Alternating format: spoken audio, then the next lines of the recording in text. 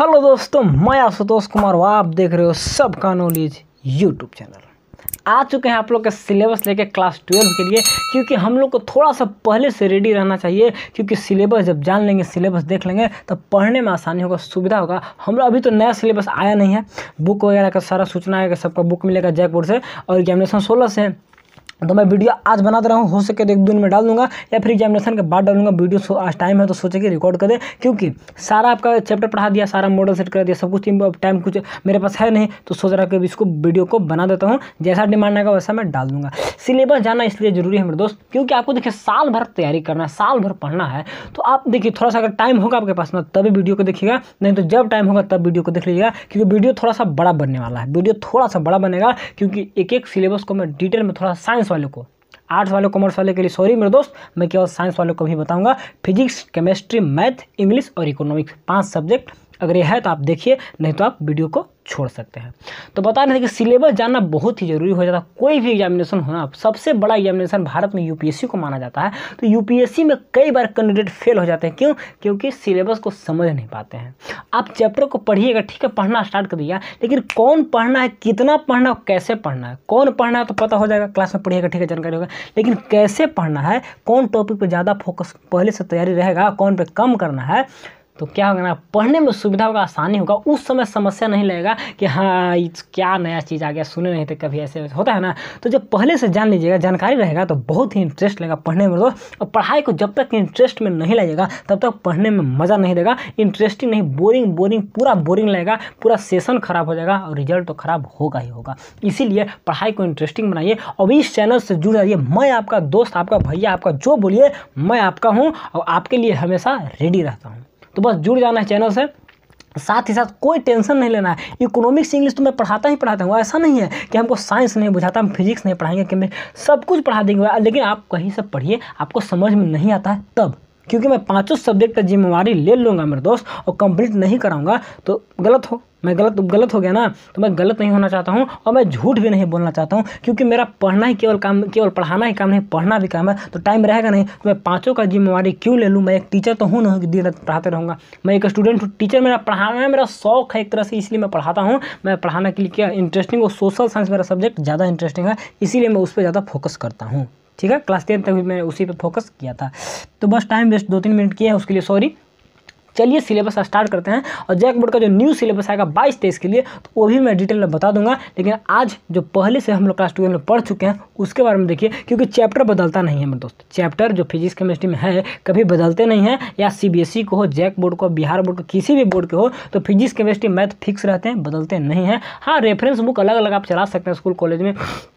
देखिए इकोनॉमिक्स का जो बुक है ना, हर एक यूनिट तो सेम है एनसीईआरटी में चार गो माइक्रो में है, पाँच गो माइक्रो में है, लेकिन हर एक स्कूल में, हर एक कॉलेज में, हर एक किताब के राइटर अलग अलग यूनिट वही है, लेकिन अलग अलग चैप्टर से सबको एक यूनिट में चार चैप्टर एक यूनिट यूनिट सेम है, उसमें चैप्टर बांट देते हैं, कोई में अलग अलग चैप्टर का कन्फ्यूज़न हो जाता है, लेकिन सिलेबस सेम रहता है इसमें अकबकाना नहीं है, सबको हम लोग डिटेल में देखेंगे, सब कुछ मैं पढ़ाऊँगा और सामने सब कुछ दूँगा, कोई भी दिक्कत होगा ना, अगर दो सौ नंबर में इंग्लिश इकोनॉमिक्स में 200 नंबर के लिए आप टेंशन फ्री रहिए, आप 300 का तैयारी करिए, केवल फिजिक्स केमिस्ट्री मैथ पढ़िए 200 मेरे ऊपर छोड़ दीजिए बस भैया का आधा घंटा का वीडियो रहेगा, शायद पर डे नहीं जाएगा, एक दो दिन गैप ही करके मतलब पर डे नहीं जाएगा, क्योंकि इलेवंथ को भी ट्वेल्थ की दोनों का है तो गैप करके डालूँगा।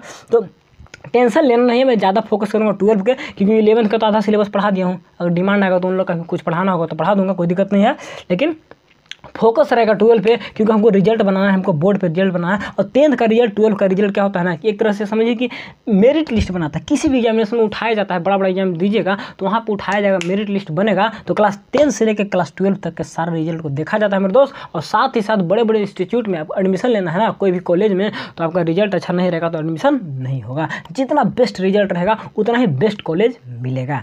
चलिए आगे बढ़ते हैं, बहुत ही थोड़ा सा क्या करें? एक्स्ट्रा बोल दिया है। तो चलिए सिलेबस देखते हैं। सिलेबस बहुत ज़रूरी इसको समझ लीजिए। और आज मैं फोकस करूँगा कौन कौन सब्जेक्ट और मैं कुछ कुछ सब्जेक्ट का स्पेशल नाम दिया हूँ। मैं जब एग्जामिनेशन देने जाता था ना तो स्टेटस लगा के कि आज इस सब्जेक्ट का एग्ज़ाम है। उसका ना, नाम स्पेशल लिख के जाता था। तो वही आज मैं आपको बताऊँगा कौन कैसा क्या है। और हम लोग तो कोरोना में थोड़ा सा मार कर गए थे, मार खा गए थे अच्छा से नहीं कर पाए थे, लेकिन फिर भी बहुत कोशिश किए हैं। और रिज़ल्ट देखिए, एटी फाइव प्लस तो गारंटी के साथ मैंने, देखिए, आएगा रिज़ल्ट, देखिए, पता चल जाएगा, मैं अपना रिज़ल्ट बताऊँगा। लेकिन बहुत कोशिश करने के बाद एटी एटी फाइव तक क्रॉस कर पाएगा। नहीं तो मेरा तो नाइन्टी फाइव स्कोर रहता स्टार्टिंग से ही, लेकिन थोड़ा सा बीच में गड़बड़ा गया था मेरे दोस्त। लेकिन देखिए रिज़ल्ट आएगा तो मैं बताऊँगा, आप टेंशन मत लीजिए, आप मेरा फिर रिज़ल्ट जान लीजिएगा। ठीक है ना तो चलिए। टेंथ में तो नाइन्टी वन था, कुछ थोड़ा सा और रहता, लेकिन चलिए हटाइए, रिज़ल्ट क्या है लेकिन अच्छा होना चाहिए, आप सी बी एस ई से हैं तो एटी प्लस होना चाहिए, और अगर आप जैक बोर्ड, बिहार बोर्ड से है ना, नहीं, सॉरी दोस्त, वो क्लास टेंथ का बात था, एटी प्लस, अगर सी बी एस ई से हैं, और बिहार बोर्ड, जैक बोर्ड है तो सिक्सटी प्लस, रहता था। लेकिन अब नहीं, अब अगर नाइन्टी प्लस नहीं है, सी बी एस ई में तो आपको कोई मान नहीं है। नाइन्टी प्लस, जैक बोर्ड समय एटी प्लस है तो गुड है अच्छा है। तो रिज़ल्ट हम लोग को तो नाइन्टी प्लस करना है, हम लोग को सीबीएसई के अनुसार ही स्टडी करना है। ठीक मैं सारा नोट्स वगैरह सीबीएसई से ही दूँगा, उसी का मैं इंग्लिश में कराता हूँ सब कुछ। चलिए। देखिए क्लास नाइन से लेकर ट्वेल्व तक के नहीं, मैं केवल और केवल ट्वेल्व तक के बताऊँगा मेरे दोस्त। तो सीधे हम लोग डायरेक्ट केवल क्लास ट्वेल्व का मैं केवल बताऊँगा मेरे दोस्त। वही क्लास हम लोग का जो सेशन था, इक्कीस बाईस, इसी सेशन में मैं भी एग्ज़ाम दिया हूँ। बस देखिए रिज़ल्ट कब आता है रिज़ल्ट का वेटिंग है। ठीक है, उसके बाद सारा डिस्कशन चलेगा। हिंदी को तो हिंदी तो नहीं, बस केवल फिजिक्स, केमिस्ट्री, मैथ, इंग्लिश और इकोनॉमिक्स कौन कौन चैप्टर हैं और कौन कौन चैप्टर ज़्यादा वेटेज के हैं और कौन कौन चैप्टर पर कितना फोकस करना है, कौन को कैसे पढ़ना कौन टफ है, कौन ईजी है, कौन कैसा है, सब कुछ आज क्लियर कर दूँगा। इसके बाद आपको समझने का टीचर जब क्लास में नाम लेंगे ना चैप्टर के तो हाँ सर इसमें ऐसे होता है सर इसमें ऐसा है। मैं सारा डिटेल दे दूँगा तो वहाँ पे लेके ना मैट्रिक्स क्या है मैथ में नाम सुने हैं और डिटर्मिनांट क्या है, इसका भी नाम सुने हैं। तो थोड़ा सा ज़्यादा डीप नहीं बताऊँगा, क्योंकि पाँचों सब्जेक्ट अगर डीप में करने लगा मेरे दोस्त तो बहुत बड़ा वीडियो बन जाएगा, ठीक है ना? तो पाँचों को ज़्यादा डीप में नहीं करूँगा, बस जितना आवश्यकता भी होगा, फिर चैप्टर पढ़िएगा तो जान जाइएगा, बस थोड़ा थोड़ा ठीक है? स्पेशली इकोनॉमिक्स का तो मैं डीप में बताऊँगा, उसका ना होगा तो अलग से बनाऊँगा, क्योंकि इसमें हिंदी में शायद दिया होगा ना। अच्छा देख लेते हैं, कहाँ से स्टार्ट करें? स्टार्ट करते हैं डायरेक्ट फिजिक्स मिल जाता तो अच्छा रहता ना। रुके थोड़ा, हिंदी सब, इसमें सब अंग्रेज़ी अंग्रेज़ी नहीं, हम डायरेक्ट स्टार्ट करेंगे फिजिक्स से। फिजिक्स है इसका ही देख लेते, पहले इंग्लिश ही देख लेते अच्छा सब्जेक्ट है एकदम। इंग्लिश को मैं बोलता था, क्या समझिए कूल सब्जेक्ट कूल सब्जेक्ट है, इसमें हम लोग को बहुत इंटरेस्ट है स्टोरी क्या का मतलब पढ़ने में इंटरेस्टिंग लगता है क्या? तो इंग्लिश से स्टार्ट करते हैं कूल सब्जेक्ट से, लेकिन हमको लग रहा है कि रुक जाइए एक सेकेंड चलिए इंग्लिश से स्टार्ट करते हैं ना। कूल सब्जेक्ट है, एकदम माइंड फ्रेश रखता है। इसमें देखिए ग्रामर सेक्शन में आपको जितना भी ग्रामर था ना ई क्लास इलेवंथ में सब कुछ हट चुका। वहाँ पर ग्रामर सेक्शन नहीं रहेंगे, केवल केवल राइटिंग सेक्शन रहेंगे। आपको भावेल का यूज़ हमारे टेंस भाष जो क्लास इलेवंथ पढ़े थे, वह सब कुछ नहीं रहेगा उस सब का यूज़ नहीं करना रहेगा। डायरेक्ट क्या है? राइटिंग सेक्शन है, यानी कि ग्रामर सेक्शन खत्म हो जाते हैं क्लास ट्वेल्व में आते ही। तो आपका एक नॉलेज यहाँ से हो गया कि ग्रामर सेक्शन नहीं रहेंगे, केवल राइटिंग सेक्शन रहेंगे, जिसमें रीडिंग कंप्रहेंशन जिसको पैसेज के रूप में रहेंगे। मेरे दोस्त, साथ ही साथ note making and summary writing इसका तो मैं चैप्टर पढ़ा दिया हूँ ना। इसमें क्या होता है कि एक बड़ा सा लेख रहता है उसमें आपको छोटा करना रहता है, उसमें से छाट के लिखना होता है, की पॉइंट निकालना होता है। एंड लेटर राइटिंग ये तो फॉर्मेट वगैरह सब बता दी लेटर ऑफिशियल जाने ऑफिशियल लेटर एक होता है, एक लेटर टू एडिटर तो वही हो गया। और साथ ही साथ रिपोर्ट राइटिंग है आर्टिकल राइटिंग इतना ही ग्रामर में पढ़ना है दैट इज़ राइटिंग सेक्शन में इतना ही पढ़ना है। ग्रामर जो क्लास टेंथ का था, वो उसमें, जो क्लास इलेवंथ में जो पढ़े थे, वैसा कुछ यहाँ पर नहीं है। ठीक है? और दो बुक है फ्लेमिंगो एंड बिस्तास ठीक है? तो फ्लेमिंगो बुक में थोड़ा सा चैप्टर का नाम देख लीजिए। लास्ट लेसन देखने को मिलेंगे, ठीक है? उसके बाद लॉस्ट स्प्रिंग लॉस्ट स्प्रिंग के डीप वाटर ये सब चैप्टर क्या क्या मैं नहीं बता, बस चैप्टर का नाम जान लीजिए कैसा चैप्टर है, बस। फिर रेड ट्रैप है, बहुत ही अच्छा चैप्टर है। रेड ट्रैप देखिएगा, एक जो है दानी बेचता था आदमी, उसमें अच्छा दिखाएगा। इंडिगो है हिस्ट्री से रिलेटेड चैप्टर है, ये भी बेहद ही खास, ठीक है? लास्ट लेसन यहाँ पे फ्रेंच वाले में दिखाया जाएगा। फ्रेंच का लास्ट लेसन चलता था। फ्रेंच सोसाइटी में इसे पढ़ेंगे। लोस्ट स्प्रिंग मैंने यहाँ पे चाइल्ड बचपना खुद था उसके बारे में रहेगा। और साथ ही साथ पोइट से पढ़ेंगे, उसके बाद इंटरव्यू वगैरह भी है। हम लोग में हटा दिया था। देखिए, यहाँ पे आप इधर मत ध्यान दीजिएगा। आप जो जो हटा दिया था चैप्टर इधर आप लोग को टोटल पढ़ना है। आप लोग को टोटल कोई रिड्यूस नहीं है। हम लोग को कोरोना का थोड़ा सा दिक्कत हो गया था समय के अनुसार। अच्छा सा टाइम नहीं मिल पाया था, इसीलिए रिड्यूस कर दिया गया था fifty twenty five percent reduce था। सेवेंटी फाइव हम लोग पढ़े थे। तो वैसा आप लोग तो फुल आएगा। तो वैसा नहीं लेना है। तो जो नो नो लिखा है ना, आप लोग के लिए नो नहीं है। आप लोग के लिए न्यू आएगा तो अच्छा नहीं तो बाकी सब पढ़ना होगा, ठीक है? उसके बाद पोएट्री पोएट्री देखिए गोइंग प्लेसेस भी अच्छा चैप्टर इसे हम लोग पढ़े थे। साथ ही साथ my mother at sixty six पढ़िएगा। पोएम है। ठीक है पोएट्री सब poem elementary school and class keeping quieting third level roadside stand and क्या है एंड जेसअप टाइगर ये हम लोग नहीं पढ़े थे। तो इतना पोएट्री हो गया, कितने हो गए छः पोएट्री हो गए। उसके बाद आठ आपको चैप्टर फ़िल्म फिल्मिंगों में पढ़ना होगा। साथ ही साथ, चार आपको क्या है टेक्स्ट बुक विस्तास में पढ़ना होगा। क्या क्या, चार नहीं, और होगा ना। विस्तास का और है नाइन चैप्टर है। वही तो बोले विस्तास थोड़ा सा बड़ा है। मेन टेक्स्ट बुक आपका यही विस्तास ही उसमें तो केवल स्टोरी रहेगा। इसमें तो केवल स्टोरी रहता है ना पोएम वगैरह सब विस्तास में रहेगा विस्तास ही मेन बुक है आपका, ठीक है? इसमें कौन कौन चैप्टर है? थर्ड लेवल है टाइगर किंग है journey to the end of the earth इसमें पृथ्वी में पढ़ेंगे कैसे पृथ्वी का इंड होता है? टाइगर किंग पुराना स्टोरी पर राजा के बारे में इन्हें भी पढ़ेंगे, कैसे दो यहाँ पे डॉक्टर सौदाव देखिएगा एक जापानी डॉक्टर थे, अमेरिका में जाके एथिक करते हैं, वहाँ से अमेरिका से एक आता है ना सैनिक अमेरिका का मैंने कोई कैदी रहता है, जापान में पकड़ाता है तो उसको बचाते हैं। वो सोचते हैं कि नहीं, मेरा ये क्या है पेशेंट है, कैदी है, बाद में है। तो इसमें कहानी पढ़िएगा, ये बहुत अच्छा चैप्टर है। सुड विजार्ड हिट मोमी इसमें पढ़िएगा। एक जानवर रहता है तो उसका गंध वगैरह क्या चेंज कर देता है कोई जादूगर? तो उसकी मम्मी जाती है ना तो उसको मारते हैं जादूगर को तो मेरा बच्चा को गंध क्यों चेंज कर दिया? मैंने गंध अच्छा नहीं उस, गंध करता था तो इसीलिए कहा कि हमको अच्छा कर दीजिए। कहानी पढ़िएगा सब, छोड़िए हटाइए on the face of it पढ़िएगा इवेंट ट्राइज ठीक है तो मेमोरी ऑफ़ चाइल्डहुड में दो पढ़िएगा। यानी कि नाइन चैप्टर को पढ़ना है, किसमें? नाइन चैप्टर पढ़ना है आपको विस्तास में, चार गो पोएट्री है इसमें छः पोएट्री है मेरे दोस्त थोड़ा सा इंग्लिश का भी बड़ा सिलेबस है इंग्लिश का सिलेबस छोटा नहीं है। क्लास ट्वेल्व में किसी का सिलेबस छोटा नहीं है सबसे बड़ा सिलेबस केमिस्ट्री का है, और केमिस्ट्री थोड़ा सा डेंजर सब्जेक्ट है उसको हम बोलते हैं। सबसे बड़ा सिलेबस उसका है इकोनॉमिक्स का भी सिलेबस काफ़ी बड़ा है, दस यूनिट पढ़ने हैं, पाँच माइक्रो का पाँच माइक्रो का तो चार ही है, एक और उसमें चैप्टर करके बांट दिया है, यानी पाँच कर दिया है, ठीक है ना? तो पाँच और पाँच, दस यूनिट उसमें भी पढ़ने मेरे दोस्त तो थोड़ा सा बड़ा भी हो जाता है इंग्लिश तो थोड़ा बड़ा सब है, कोई भी छोटा नहीं है, इसलिए पहले से रेडी रहना, पहले से तैयार रहना है, क्योंकि हमको फुल टाइम मिले और maximum eight month eight month में हम लोग को पूरा सिलेबस कंप्लीट करना होगा। बारह मंथ का वेट मत करिएगा। एट मंथ में हो जाना चाहिए और दो मंथ में सारा रिवीजन आठ, दो, दस मंथ में कंप्लीट एग्ज़ाम देना होगा। बारह मंथ टाइम नहीं मिलता है, दस मंथ ही मिलते हैं हम। लोग तो इतना ही करके लेकर चलना होगा। और इंग्लिश में इतना ही है फिर पोएट्री फिर ये है, इसका इलेक्टिव का। तो इलेक्टिव तो हम लोग, छोड़िए इलेक्टिव तो हम लोग कोर के बारे में केवल पढ़ेंगे। इलेक्टिव के बारे में मैं खुद नहीं जानता, संस्कृत तो हम लोग का है नहीं, ठीक है? गणित, वाह, बहुत ही इंटरेस्टिंग इसको हम बोलते हैं सम टाइम इंटरेस्टिंग सब्जेक्ट मेरे अनुसार इसका नाम क्या है? Some time interesting subject relation function class twelve में इलेवंथ में पढ़े होंगे, बस यही वाला थोड़ा सा इसमें बढ़ जाता ना, कि इसमें बाइंड्री वगैरह, फिर इसमें इलेवन से हल्का सा, ज़्यादा अथी है, इसमें देखिए तो इलेवन से थोड़ा सा डीप है, इसमें थोड़ा सा रिलेशन ज़्यादा देखने को मिलता है। आपको सेमेट्रिक वगैरह हो गया, फिर ट्रांजिटिव करके इसमें ज़्यादा थोड़ा सा रहता है, फिर आइडेंटिटी तो वही है, और कंपोजिशन और फ़ंक्शन उसके बाद पढ़िएगा, और फिर बाइंड्री ऑपरेशन तो इसमें रिलेशन फ़ंक्शन थोड़ा सा लेंदी टाइप का चैप्टर हो जाता है, ठीक है ना? इसमें स्टार्टिंग में कोई टीचर नहीं पढ़ाता है स्टार्टिंग में मैट्रिक्स पढ़ाएँगे आपको, सबसे ईजी क्लास ट्वेल्व का चैप्टर है, उसी को पढ़ाया जाता है। तो रिलेशन फ़ंक्शन देखेंगे। इन्वर्स ऑफ़ ट्रिगोनोमेट्री फ़ंक्शन यही आपका एक चैप्टर है ना, जो क्लास इलेवंथ में ट्रिगोनोमेट्री पढ़े होंगे तो इसका फॉर्मूला यहाँ पे यूज़ होते हैं मेरे दोस्त। तो इलेवंथ का फॉर्मूला यहाँ पे काम देगा, और फॉर्मूला याद नहीं रहेगा तो थोड़ा सा डिफिकल्टी चैप्टर हो जाता है, अगर ट्रिगोनोमेट्री का फॉर्मूला नहीं है, बस इसी में ट्रिगोनोमेट्री यूज़ होगा, और ट्रिगोनोमेट्री का कहीं वैसा कुछ यूज़ नहीं है। ठीक है? और ज़्यादा बड़ा नहीं, एक दो एक एक्सरसाइज में खत्म हो जाएगा। ठीक है फार्मूला बेस्ट है, इसमें कुछ करना नहीं, केवल फार्मूला याद रहेगा तो काम हो जाएगा। चलिए मैट्रिक सबसे इजी क्लास ट्वेल्व का चैप्टर है। मेरे दोस्त, बहुत इंटरेस्टिंग लगेगा। आप जोड़ घटा जब बच्चों ने पढ़ेंगे, उसी टाइप का रहेगा तो लगेगा कि वाह, सबसे इंटरेस्टिंग अब इसी से स्टार्ट करेगा माइंड फ्रेश रहेगा। आप एक तुरी इंटीग्रेशन और डिफ्रेंशिएशन मत पढ़ने लगेगा, कि बहुत बड़ा है, बहुत ज़्यादा नंबर में आता है, थोड़ा इसी को पढ़ते हैं, पढ़ के विद्वान हो जाएँगे, पूरा तेज। नहीं नहीं, कोई टेंशन लेने वाली बात नहीं है। आराम से पढ़िए, सब कुछ है, बहुत स्टूडेंट मिलेंगे, कि मैं तो इलेवंथ मेरा ट्वेल्व खत्म हो गया छोड़ दीजिए भैया खत्म हो गया, तुम एग्ज़ाम दे देगा।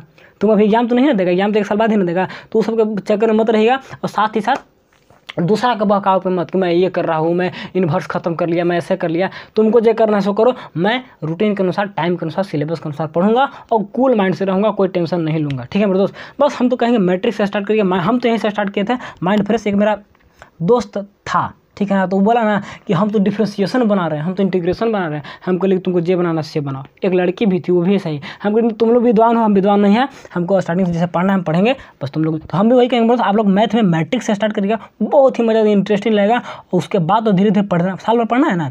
पढ़ लेंगे, इसमें पकाने क्या बात है। ठीक? बहुत है। डिटर्मिनार्स भी और मज़ा आता है, कोई दिक्कत नहीं है। थोड़ा सा लॉन्ग इसमें एक दो रहते हैं, लेकिन बहुत इंटरेस्टिंग है ये सब चैप्टर फिर है कॉन्टिन्यूटी एंड डिफ्रेंसिबिलिटी इसमें इसमें आपको क्या डिफ्रेंसिबिलिटी से क्वेश्चन कभी जैकबोर्ड में दिया नहीं है। आज तक नहीं दिया है। केवल और केवल कहाँ से देता जानते हैं? एक सेकेंड डिफ्रेंसिबिलिटी में आपका डिफ्रेंसिएशन भी आ जाता है। तो डिफ्रेंसिएशन से देगा, लेकिन डिफ्रेंसिबिलिटी एक चैप्टर है, उससे नहीं देता है कॉन्टिन्यूटी से देगा, इसमें भी आसान है। एल सारे चीज़ देखिए कहाँ पर बराबर है तो कॉन्टिन्यूटी है कि नहीं है तो निकाल लीजिएगा आसान। है लेकिन इसमें एक डिफ्रेंसिएशन चैप्टर है तो डिफ्रेंसिएशन टफ नहीं है डिफ्रेंसिएशन ईजी है, बस केवल फॉर्मूला थोड़ा सा याद रहना चाहिए बेसिक बाकी कोई दिक्कत नहीं होता डिफ्रेंसिएशन में। हाँ इंटीग्रेशन में थोड़ा सा होता है, क्योंकि इंटीग्रेशन में नाइन मेथड है, और नाइन मेथड में लगता है कि कौन मेथड को कब यूज़ करे, पता नहीं चलता कि सब्सिट्यूशन लगाएँ, कि यहाँ पे क्या बोलता है स्पेशल नाइन रूल लगाए कौन कौन फार्मूला लगाना वही नहीं पता चलता है ना। तो थोड़ा सा प्रैक्टिस होता है, क्या? इंटीग्रेशन लेकिन डिफ्रेंसिएशन कोई खास दिक्कत होने वाला यहाँ पर नहीं है। ठीक है? अब आपको अगर कोई कंपटीशन का तैयारी नहीं करना है हमारे आई जैसे तो आप एन फोकस करिएगा। कोई एक्स्ट्रा बुक मत पढ़िएगा, सिर्फ़ और सिर्फ़ एन को पाँच बार जितना बार आपसे होगा, उतना बार कर लीजिएगा, आपका रिज़ल्ट हाथ में रहेगा। ठीक है? सी बी एस ई सब है नहीं। आपको अगर आई टी सब करना नहीं है, कोई तो बस ये ट्वेल्व केवल पढ़ना है तो केवल हमको तो ट्वेल्व पढ़ना हमको कुछ करना नहीं था। हमको फिर आगे चल के आर्ट्स लेना इसी तो मेरे कॉलेज में एडमिशन लिया था कि हाँ रेगुलर क्लास चले। और आप लोग हैं कि कोचिंग करना है आई टी सब करना है तो वो कॉलेज में एडमिशन ले लेते स्कूल में ले लेते हैं। कोचिंग करना है ना जब आई सब करना है तो कोचिंग, उसके लिए वैसा कॉलेज में नाम लिखवाइए जहाँ पे क्लास व्लास नहीं चलता हो। तो बहुत स्टूडेंट को देखे ना कि हमको तो नीट निकालना है, हम भी कॉलेज में। तो वो कॉलेज में क्यों हो भाई? नीट निकाला तो तुम कोचिंग ना करो। कॉलेज तुमको टाइम देगा, फिर एक साल गैप करके तैयारी करना पड़ेगा। एक साल जाता है। तो चलिए, वो सब तो होता है बात के बाद। बहुत अच्छा चैप्टर ऐसा पढ़िएगा। साथ ही साथ एप्लीकेशन ऑफ़ डेरिवेटिव्स इसी इसी में थोड़ा सा चार चैप्टर थोड़ा सा घुमा फिरा के देता है, लेकिन ये भी अच्छा लगेगा इसमें थोड़ा सा है। चार चैप्टर कन्फ्यूज़न करता है इंक्रीजिंग डिक्रीजिंग है ना? टेंजेंट नॉर्मल उसके बाद एक और चैप्टर होगा ना। चार चैप्टर इसमें देखने को मिलते हैं। कुछ अप्रोमैक्स हटा दिया था ना मैक्सिमम मैक्सिमम मिनिमम इसमें थोड़ा सा कन्फ्यूज़न रहता है तो थोड़ा सा पहले से इसको पढ़िएगा तो अच्छा रहेगा। यानी डेरिवेटिव्स में डेरिवेटिव्स आसान है एप्लीकेशन और डेरिवेटिव्स थोड़ा सा टफ है। ठीक है? तो कौन कौन कैसा है मैं बता दे रहा हूँ, ताकि आप वहाँ पे एक्यूरेट रहेगा, जब चैप्टर स्टार्ट होगा ना इसमें थोड़ा सा ध्यान देना होगा, इसमें तो उतना ध्यान नहीं भी देंगे तो काम चल जाएगा। तो यहाँ से क्या? जैसे मैट्रिक्स आसान है तो मैट्रिक्स नाम सुनिएगा तो आपको लेकर ना भैया तो बोले आसान है तो आसान ही होगा। ठीक है? चलिए। ऑपरेशन है एलिमेंट्री तो ऑपरेशन वगैरह से क्वेश्चन देता नहीं, हटा भी दिया था ना, वही सब देता भी नहीं है जैक बोर्ड में। ठीक है ना? वैसे तो चैप्टर पढ़ा पढ़ाएँगे तो सर बताएँगे ही। चलिए। इंटीग्रल्स वही इंटीग्रेशन, इसमें है कुछ नहीं, बस सब झूठों को बोलता है कि टफ है टफ है। टफ नहीं है, प्रैक्टिस खोजता है। अब जितना इसको प्रैक्टिस करें बार बार बनाइए, नहीं आ रहा, देखते के छापिए, दस बार छापिए नहीं किसी चीज़ को, याद हो जाएगा। हमको तो याद ही तो करना है। कोई बोलता है कि मैथ याद नहीं किया जाए, याद नहीं करेगा तो कैसे बनाइएगा? आपको यहाँ पे हाँ वैसा मैंने वर्ड नहीं याद करना रहता है, लेकिन टाइप याद करना, कैसे बनना, कौन फॉर्मूला कहाँ पे कैसे लगता है। अब एक लॉन्ग क्वेश्चन बना रहे हैं, अब बीच में फॉर्मूला का यूज़ हो गया, आपको याद नहीं है कि यहाँ पे फॉर्मूला लगता है तो कैसे बनाइएगा? तो याद करना होता है ना, मेरे दोस्त? तो बोलता है कि मैथ सब कुछ याद करना पड़ता है, बिना याद किए हुए कुछ नहीं रहता है। बिना याद किए हुए रहता है तो हम लोग विद्वान रहते हैं। तो मैथ भी याद किया जाता है। कोई बोलता है कि मैथ याद नहीं किया जाता है तो उसको मेरे पे बोलाइएगा कि चलो भैया बुला रहे हैं, तुम बिना याद कर ले। लॉन्ग क्वेश्चन बनाने को बीच में है कि बीच में यहाँ पे इसको काटा जाता है, यहाँ पे जोड़ा जाता है। तो उसको याद रखेगा तो ना, मेरे दोस्त? यहाँ पे ऐसा लगाना है। तो बिना याद का तो कहीं नहीं है। तो इंटीग्रेशन कुछ नहीं उसको याद करना है कि कौन फार्मूला कहाँ पर लगाना है। तो उसके लिए क्या करना होगा? उसके लिए प्रैक्टिस करना होगा। ठीक है मेरे दोस्त? यहाँ पे मेरा तो चलता नहीं पेन अच्छा से। प्रैक्टिस जो भी है, प्रैक्टिस करना होगा तो सब कुछ सही हो जाएगा। तो टफ चैप्टर नहीं है, ठीक है? इसमें हम लोग को टोटल पढ़ना तो कुछ हटाया नहीं था, एक थोड़ा सा लिमिट और समूल हटाया था तो कोई खास नहीं था। हम लोग पढ़े थे। हम ज़्यादा टाइम हम लोग पास था नहीं तो मैं केवल N C R T eleventh में तो बहुत क्या क्या कैसे सर माटर पट बनाते रहते झूठ सर टेंथ पास करने पर थोड़ा सा जज्बा रहता ना है कि ऐसा करना ऐसा करना है। तो ऐसा कुछ था, लेकिन ट्वेल्व में फिर आ गए थे कि नहीं कुछ रिज़ल्ट बनाना है। चलिए application of integration application of integration भी थोड़ा सा देख लीजिएगा। और हम लोग तो हटा देते चैप्टर लेकिन बस इंटीग्रेशन है तो एप्लीकेशन ऑफ़ इंटीग्रेशन भी कोई खास नहीं है। फिर है डिफरेंशियल इक्वेशन देखिए। डिफरेंशियल इक्वेशन थोड़ा सा लंबा चैप्टर है, लेकिन इससे क्वेश्चन नहीं आते हैं, सिर्फ़ और सिर्फ़ आते हैं आपको बेसिक कंसेप्ट है ना, जो कि डिग्री और क्या बोलते हैं ऑर्डर निकालने के लिए देता है। इसमें इसमें वर्ड प्रॉब्लम वगैरह सब रहेंगे, लेकिन कभी भी जैक बोर्ड में आज तक वर्ड प्रॉब्लम नहीं दिया है। कभी भी, हम लोग सर बोलते थे कि कभी भी नहीं दिया है तो अभी भी नहीं देगा और आगे भी नहीं देगा। इसमें है बड़ा चैप्टर, लेकिन इसमें आते हैं सिर्फ़ और सिर्फ़ ऑर्डर और डिग्री निकालने के लिए आते हैं और कुछ नहीं आते हैं। तो ऑर्डर, डिग्री निकालने आ गया तो आपका इस चैप्टर कंप्लीट हो जाएगा। है बड़ा, लेकिन जैक बोर्ड के लिए बहुत ही छोटा चैप्टर है। ठीक है? चलिए भेक्टर अलजेब्रा। तो भेक्टर अलजेब्रा में आपको क्या जो भी क्लास टेन टेन ट्वेल्व में पढ़िएगा ना। वेक्टर अलजेब्रा में एक और थ्री ज्योमेट्री यहाँ पे है थ्री ज्योमेट्री तो वेक्टर पढ़े हैं, कुछ कुछ इलेवन पे तो उसी के कॉन्सेप्ट पे है, बहुत कुछ बन जाएगा। एडिशन और vector multiplication cross product dot product पढ़ोगे ना क्लास इलेवन तो फिजिक्स पढ़ोगे ना तो बस वही का यूज़ है, ये एक्स्ट्रा कुछ नहीं है। हाँ थ्री में फार्मूला थ्री में फार्मूला थ्री में और कुछ नहीं है।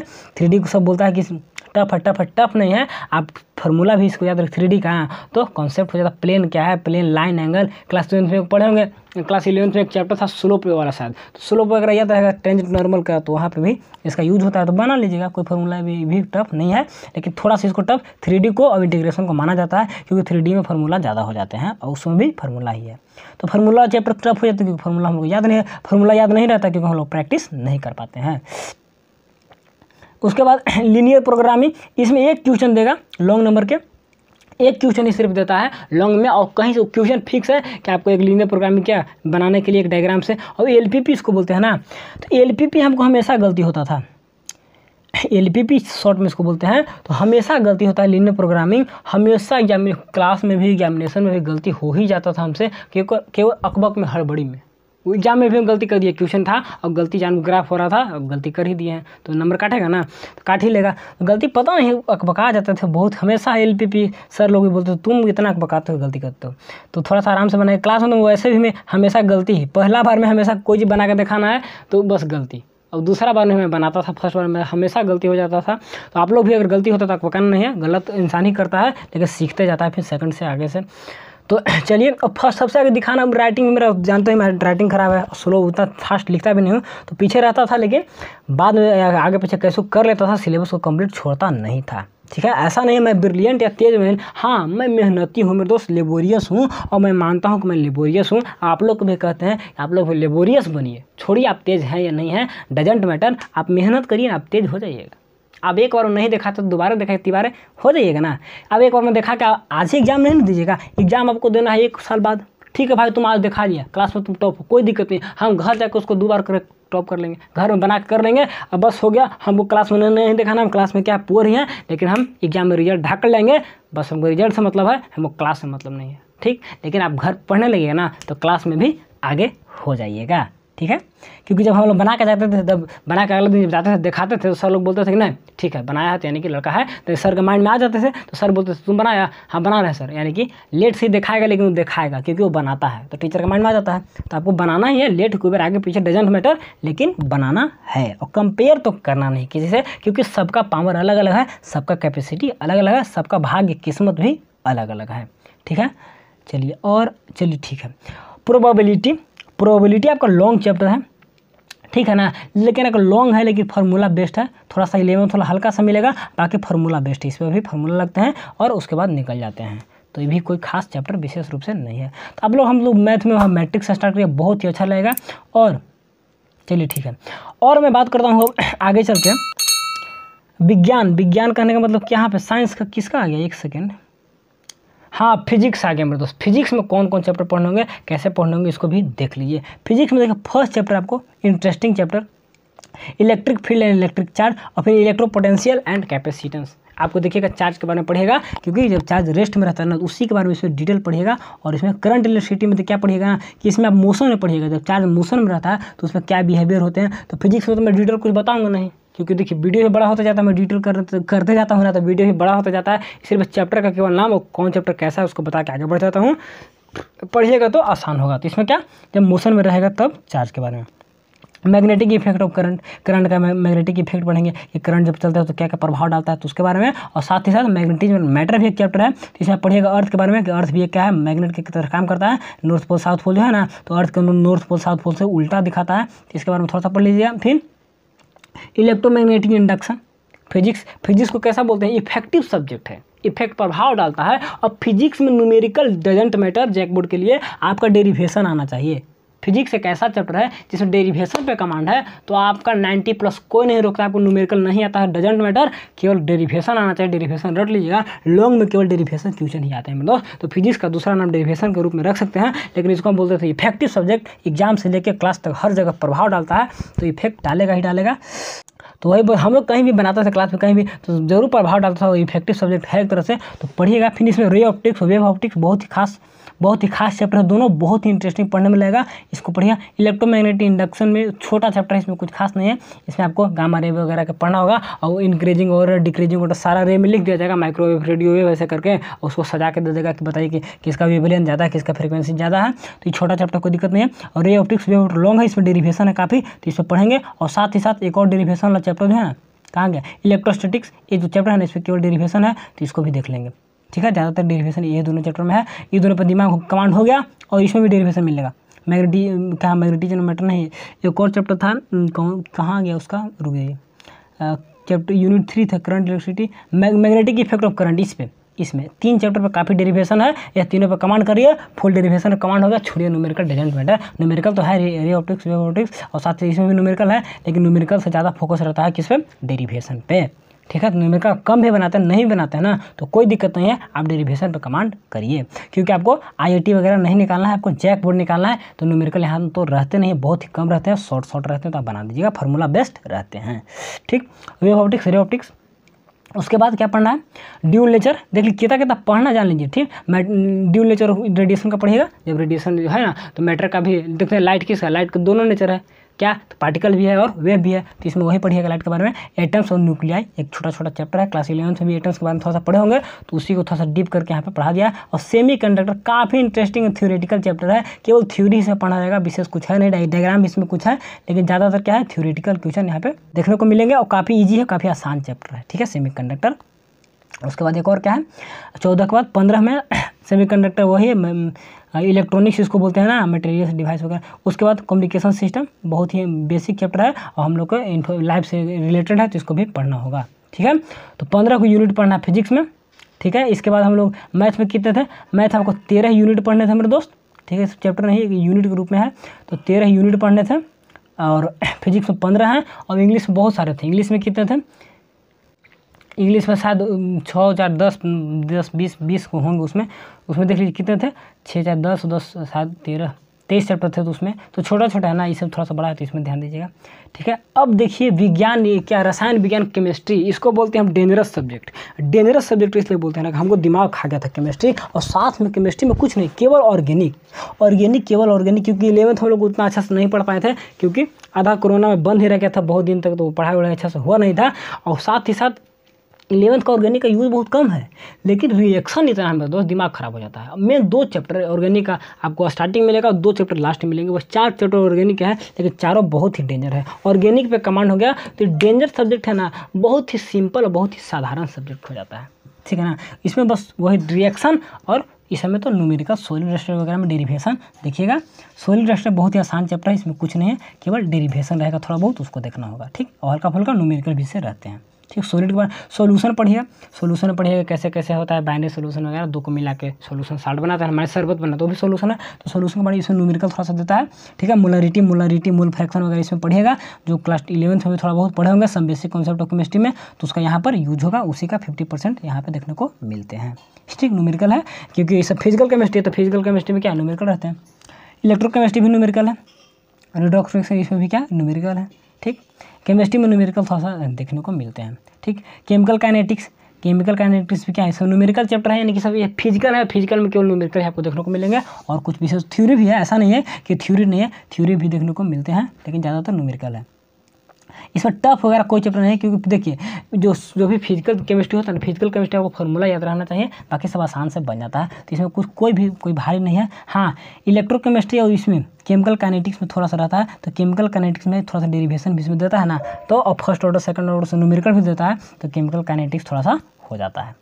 चलिए सरफेस केमिस्ट्री ये बहुत ही आसान थ्योरेटिकल इसमें कुछ नहीं करना, केवल थ्योरी है तो आराम से पढ़िए। General principle and techniques process of isolation of filament इससे पढ़ेगा कैसे और से हमको निकालना, कोई मटेरियल को बाहर निकालना, मान ली आयरन को हेमाटाइट मैगनाटाइट उससे कैसे हमको प्योरीफाई करते हैं तो प्योरीफिकेशन इसके बारे में सब पढ़ेगा और उसके विशेष रूप से इसमें कुछ है नहीं, आसान चैप्टर है। फिर पी ब्लॉक पी ब्लॉक इसमें क्या पढ़ना है? बताइए कि इंक्रीजिंग डिक्रीजिंग रेडियस बढ़ रहा है कि इलेक्ट्रोनिगेटिव घट रहा है, बढ़ रहा है। इसका क्या मेटेलिक क्या इसका करेक्टर फ़िज़िकल बहुत ही आसान चैप्टर है। पी ब्लॉक वगैरह में कुछ ग्रुप पंद्रह, सोलह, सत्रह से पढ़ेगा तो आसान चैप्टर कुछ है नहीं। बताइए ऑक्सीडेशन स्टेप बढ़ रहा है, घट रहा है, इस प्रकार से पढ़ना होगा। डी ब्लॉक में वही रहेगा मेरे दोस्त, इसमें भी कुछ रहते नहीं है।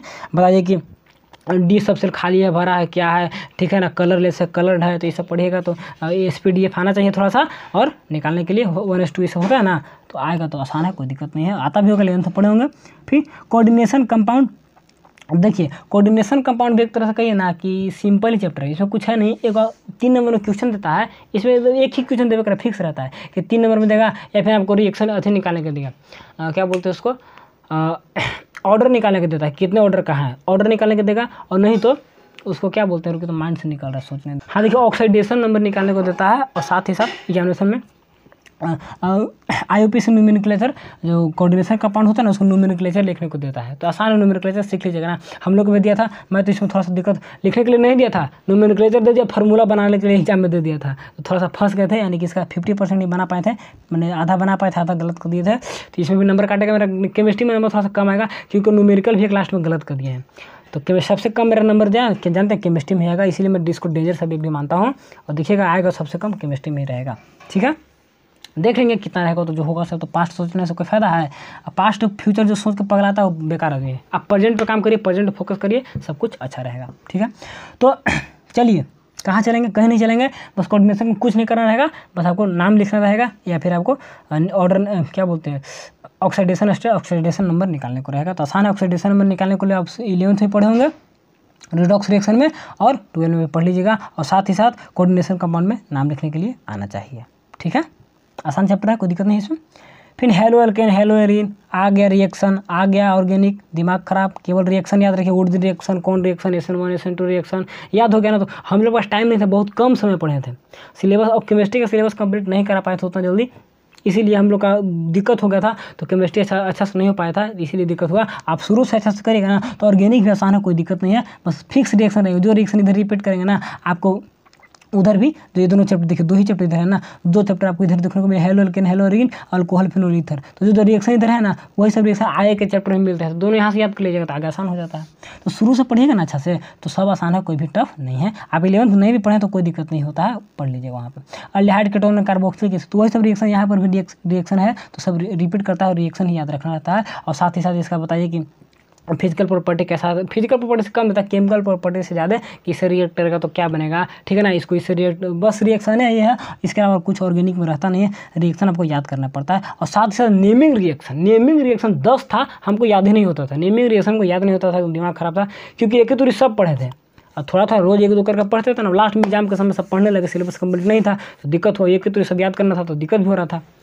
तो न्यूमिनेशन वगैरह तो आप शुरू से एक दो दो करके पढ़ते हैं तो आसान होगा, सब याद होते चला जाएगा। इसीलिए कहते हैं मेरे दोस्त, थोड़ा सा पहले से, थोड़ा स्टार्टिंग से आप लग जाइए तो बहुत ही अच्छा होगा बेस्ट होगा, सब कुछ बढ़िया जाएगा। ठीक है? एमीन्स एमीन्स में भी वही नोमिनक्लेचर भी ऑर्गेनिक है, और इसका फार्मूला वगैरह लिखने को देता है रिएक्शन के साथ साथ तो नोमिनक्लेचर भी थोड़ा बहुत आना चाहिए नोमिनक्लेचर नहीं भी आता तो वहाँ पर सीख लीजिएगा, आ जाएगा नोमिनक्लेचर से भी क्वेश्चन रहते हैं। बायोमोलिक्यूल्स में कुछ नहीं है भी फ़िज़िकल कहीं कहीं तो ज़्यादा डीप में पढ़ा देते इसको, लेकिन डीप क्वेश्चन देता नहीं है। वो सिंपल टाइप का क्वेश्चन देगा। आपको इसमें कार्बोक्सिलिक एसिड क्या बोलते हैं उसको? प्रोटीन वगैरह के बारे में थोड़ा सा इसमें पढ़िएगा। कार्बोहाइड्रेट बोलते कार्बोक्सिल कार्बोहाइड्रेट और प्रोटीन ये सब क्या है? तो उसके बारे में D N R N important यहाँ से क्वेश्चन हमेशा रहता है डी एन आर एन से। तो ये सब डिफरेंस देता है। तो पढ़िएगा तो वहाँ पर पता चल जाएगा टफ नहीं आसान चैप्टर ठीक है? पॉलीमर्स पॉलीमर्स थोड़ा सा है क्योंकि बायोलॉजी, क्या बोलते हैं इसको?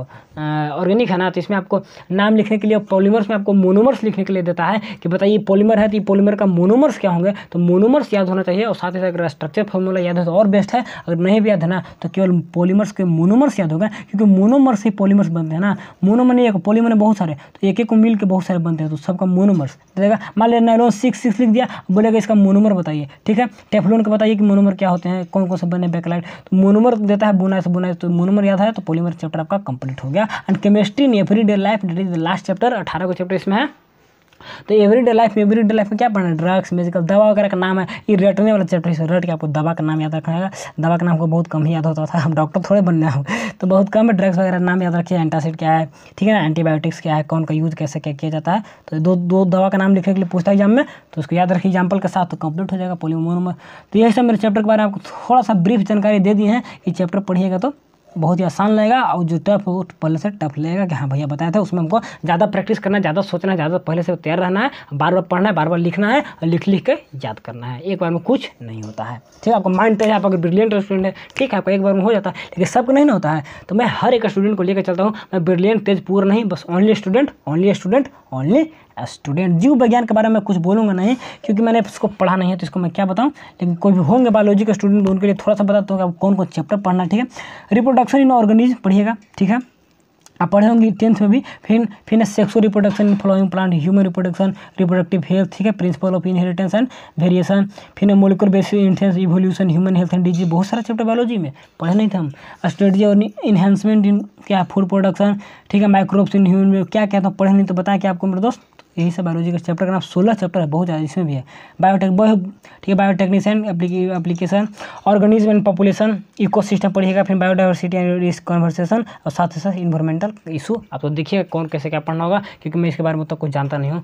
तो बायोलॉजी भी अच्छा है। मतलब किसी भी छोटा सिलेबस किसी का नहीं है जी इंग्लिश का रहे, इकोनॉमिक्स का रहे, बायोलॉजी का रहे, फिजिक्स का रहे, केमिस्ट्री का रहे, हर एक का सिलेबस क्या है, बहुत ही बड़े हैं, बहुत ही डीप में है मेरे दोस्त।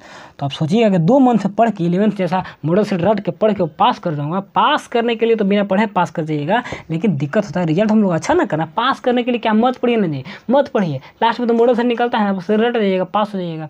ठीक है ना? तो लेकिन फुल सिलेबस मॉडल सेट रहेंगे रिड्यूस सिलेबस नहीं रहेंगे ना तो वहाँ पे मॉडल सेट भी पढ़ना मुश्किल हो जाएगा। इसीलिए अगर स्टार्टिंग से थोड़ा सा ही पढ़ते हैं ना, आप इंग्लिश इकोनॉमिक्स ये सब का आधा घंटा दिया, वो सबको एक डेढ़ घंटा दीजिए पर डे तो अच्छा हो जाएगा। यानी पर डे पाँच से छः घंटा पढ़िए तो बेस्ट रिज़ल्ट रहेगा, कोई दिक्कत होने वाला नहीं है। क्योंकि मैथ में दो घंटा टाइम लेता है मैथ में आपको दो घंटा पर डे देना होगा, उसमें कोई कंप्रोमाइज़ नहीं। फिजिक्स केमिस्ट्री में आप एक से डेढ़ घंटा भी देते हैं पर डे तो हो जाता है, यानी कि दो, तीन पाँच घंटा, और इधर आप एक डेढ़ घंटा दीजिए इंग्लिश में एक घंटा, और एक घंटा इकोनॉमिक्स में पाँच दो सात घंटा मैक्सिमम है, काफ़ी रहेगा। सात घंटा पर डे डेली स्टडी करते हैं तो क्या दिक्कत? दो घंटा सुबह, दो घंटा शाम के हो गया, चार घंटा अपना रात में पढ़िए, ठीक है? तो आप पढ़ सकते हैं, सात घंटा कोई दिक्कत नहीं है। और स्कूल कॉलेज करते हैं तो कोई दिक्कत नहीं है, आप दो तीन घंटा पढ़िए। बस जितना स्कूल कॉलेज में पढ़ाई हुआ, उसी को आन के घर पर पढ़ लेना है। और कम है, चार घंटा स्कूल में पढ़े, तीन घंटा घर पढ़िए, सात घंटा हो गया। दिक्कत ही क्या है? और स्कूल कॉलेज जाके घर पाँच घंटा पढ़ लेते हैं तो बेस्ट है, कहीं से कोई दिक्कत नहीं है, ठीक है? चलिए, भूगोल में क्या बताइए सब तो हम जानते नहीं तो क्या आपको कुछ नहीं बता सकते हैं? अर्थशास्त्र भी भी topic that is my interesting favourite subject आ चुका है। ये सब हिंदी में है, इसके लिए मैं डिटेल वीडियो में बड़ा हो जाएगा ना, इसलिए मैं बाद में डिटेल में इसका मैं डाल दूँगा, क्योंकि इसको मैं पढ़ाने वाला हिंदी में क्या बताऊँ, हमको खुद नहीं पता है तो इंग्लिश में कन्वर्ट सब करके और सारा में कम कम शब्द के चार यूनिट ही पढ़ना है। माइक्रोम देखिए, एक, दो, तीन, चार और पाँच माइक्रोम पढ़ना होगा, पाँच माइक्रोम पढ़ना है। तो नौ यूनिट पढ़ने मेरे दोस्त, बस नौ को, ये चार यूनिट पे क्या करना है कि दो और बांट देता है, इसको कर, चार को करता है, चार और पाँच करता है। यानी कि बाज़ार अलग कीमत निर्धारण एक अलग चैप्टर कर देता है ना तो इसको पाँच करता है, लेकिन चार ही यूनिट है, ठीक है? तो बस इतना ही पढ़ना होगा तो ये भी थोड़ा सा डीप है, दस चैप्टर इसमें पढ़ना है। तो बस सरकारी बजट वगैरह क्या हिंदी में लिख दिया ये सब।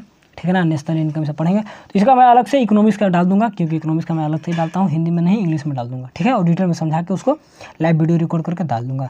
तो सब कुछ हो गया। समाज शास्त्र वगैरह तो हम लोग पढ़ते नहीं हैं। ठीक है? देखिए फिजिक्स का केमिस्ट्री का मैथ इंग्लिश इकोनॉमिक्स बायोलॉजी सब कुछ हो गया मेरे दोस्त, कुछ बचा नहीं है। इकोनॉमिक्स के लिए अगर हिंदी वाले स्टूडेंट होंगे तो उनके लिए थोड़ा सा वही है किसे आपको पाँच यूनिट हिंदी में थोड़ा सा मैं पढ़ देता हूँ ना। क्या पढ़ना होगा? माइक्रो में क्या पढ़ना होगा? वशिष्ठ अर्थशास्त्र का परिचय, यानी कि वशिष्ठ अर्थशास्त्र वही है वैक्सिस्ट है ना? यानी कि माइक्रो इकोनॉमिक्स ठीक है? उपभोक्ता, यानी कि यहाँ पे उपभोक्ता का व्यवहार मांग, यानी कि प्रोड्यूसर का जो होता है, फिर यहाँ पे उत्पादक, यानी कंज्यूमर होगा ना, उसके बाद व्यवहार। उसके बाद बाज़ार का बाज़ार का प्रकार पढ़िएगा, फिर राष्ट्रीय नेशनल इनकम पढ़िएगा, मुद्रा बैंकिंग पढ़िएगा, ठीक है? इस आगे आपका माइक्रो में। फिर इसको क्या है? आय रोज़गार निर्धारण क्या हुई सरकारी बजट पढ़िएगा, उसके बाद भुगतान का संतुलन पढ़िएगा तो इसको तो मैं पढ़ाऊँगा ही तो सब बताऊँगा ही डिटेल में, सब कुछ डिटेल में पढ़ाऊँगा। इकोनॉमिक्स सारे को डिटेल में, ताकि कहीं से कोई दिक्कत नहीं लॉन्ग शॉर्ट सब कुछ बता दूँगा, और डिटेल के साथ साथ शॉर्ट समरी भी दे दूँगा तो टेंशन लेना है नहीं।